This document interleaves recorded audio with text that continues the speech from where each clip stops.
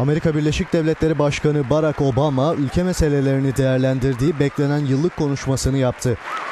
Obama ikinci dönemindeki ilk birliğin durumu konuşmasında bütçe açığıyla mücadele ve vergi reformu konusuna öncelik verdi.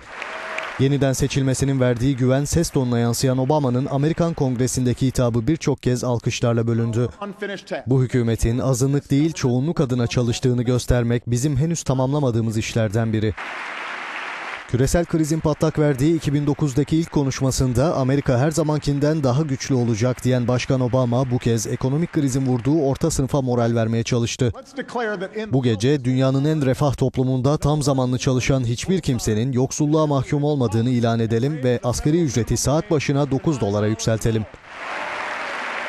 Amerika'nın Irak'taki askeri rolünün sona erdiğini hatırlatan Barack Obama 2014 sonuna kadar Afganistan'dan çekilme takvimine de değindi. Bu gece önümüzdeki bir yıl içerisinde 34 bin Amerikan askerinin daha evine döneceğini söyleyebilirim. Bu süreç devam edecek ve gelecek yılın sonunda Afganistan'daki savaşımız son bulacak.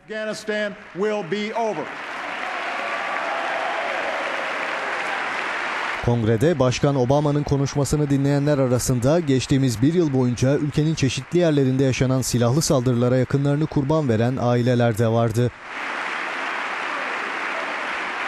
En son Connecticut eyaletinin Newtown şehrindeki bir ilkokulda 20'si çocuk 26 kişinin ölümüyle sonuçlanan katliam Obama yönetimini silah yasasında değişiklik için harekete geçirmişti.